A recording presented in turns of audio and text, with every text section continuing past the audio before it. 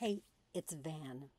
And the Nine of Swords showed up for the week of September 8th, 2024. This is a scary and uncertain time. I get it.